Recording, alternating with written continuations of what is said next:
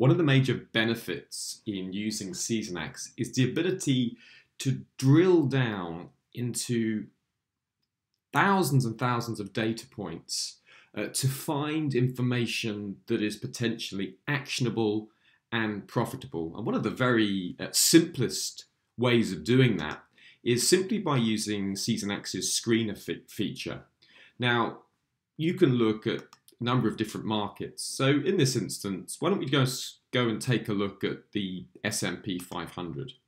Now, we have a number of variables uh, that we can adjust, but I'm just going to leave that for now because I want to point out one easy way to screen for large winning streaks. Now, if you notice the top of this column here, we have number of winners.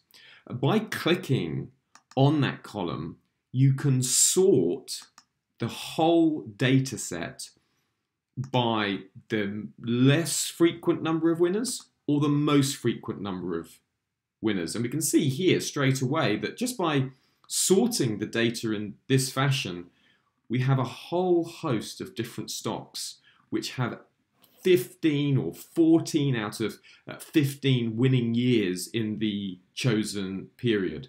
So you can see and look at some of these annualized returns. They're, they're really uh, incredible uh, figures. So that means you can quickly, with you know, in just a few seconds, uh, filter out large winning streaks from, say, the S&P 500.